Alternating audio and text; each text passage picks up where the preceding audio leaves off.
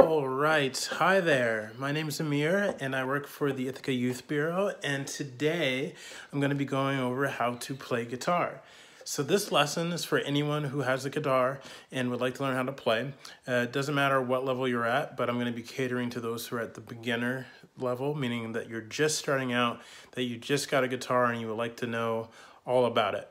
So um, I'm going to be breaking these down into 10 minute lessons and this will be the first one. So um, you'll have to stay tuned for the others. So the first thing for today that we'll do and that we'll go over is learning about our instrument a little bit.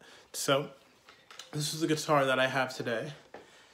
This is an electric guitar. And there are many different types of guitars. You have basically your electric guitars and you have an acoustic guitar, which I also have. Um, for this lesson and for many of our other lessons, it won't matter if you have an acoustic guitar or an electric guitar. Both will work as long as it has six strings. And that's ultimately what makes it a guitar is that it has six uh, strings here. So um, one thing that'll be important to know are the names of each of our strings. So that'll be the first lesson that we can start off with for today is getting to know each string of the guitar. So let's start off first with this very low, our heaviest string here. This string is called the E string, okay? And it sounds like this. And that's the lowest string. So you can find out if it's the lowest one by going down and then you can go all the way up to the, to the high ones. But our lowest string here, and again, this one here is the lowest. That is our E string. And then we're just gonna go right on down to our next string. That one's our A string. And again, that's the second one from the top. And then we have this one. That one's our G string. Sorry, our D string. That's the D string. G string. B string, and then that's the high E string. So let's do go, we'll go through it again. So we have the low E,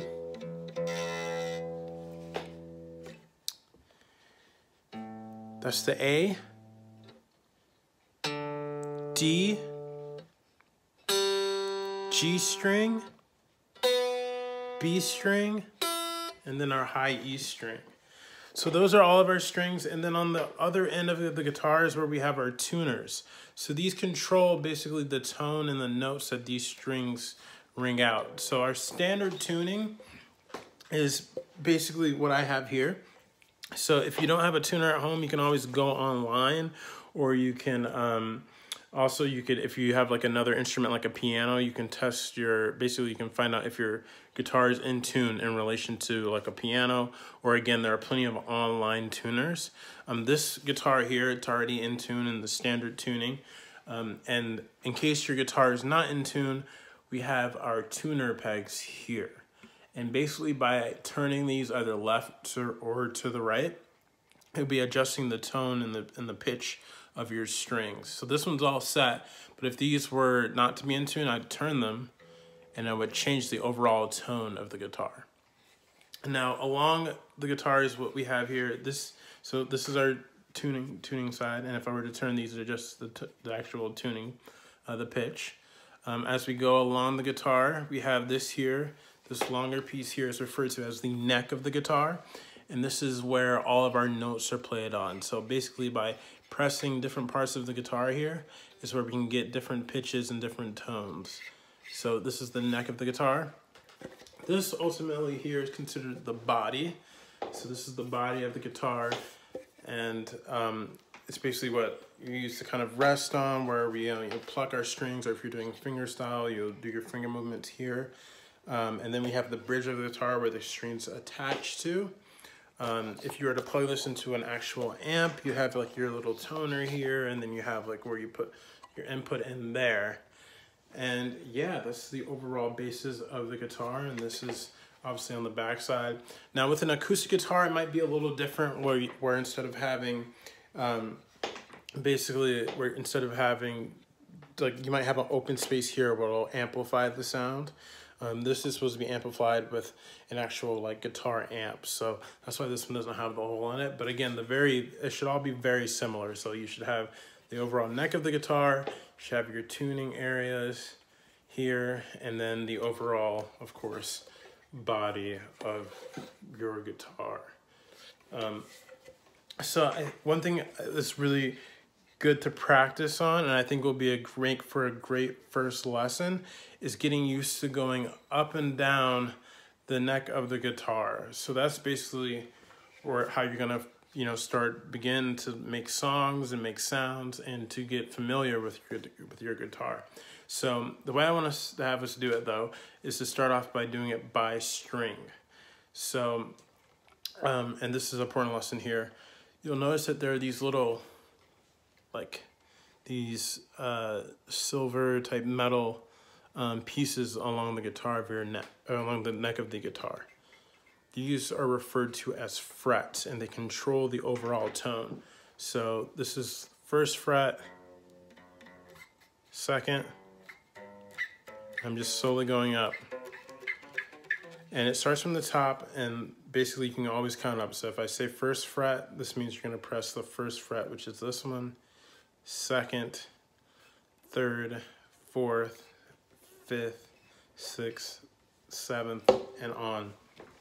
Um, so basically, I want us to get comfortable with getting our fingers warmed up and being able to like go up and down uh, the guitar.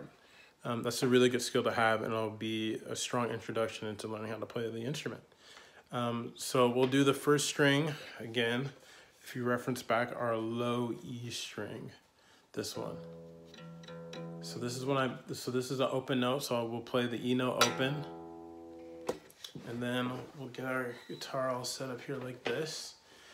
And then I'll say, let's play the first fret of the low E string. So that means you'll take your pointer finger like this, and then you'll press down on the first fret, which is this one.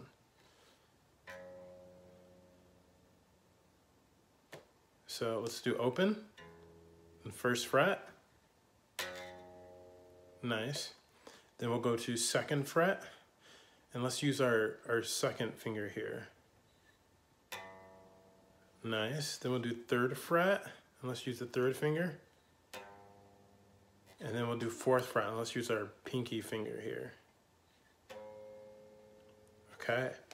So that's so you can do that on your end. And then once you're able to do that, we'll move on down to the fifth fret.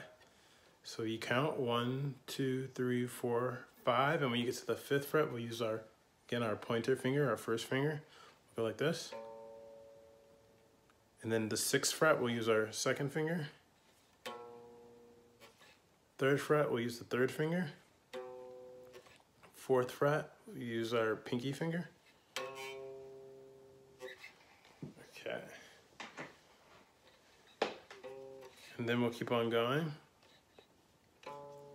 the 10th fret, use our first finger. 11th fret, or 9th fret, sorry, the first finger. 10th fret, our second finger. 11th fret, the third finger. And then 12th fret will be our fourth finger.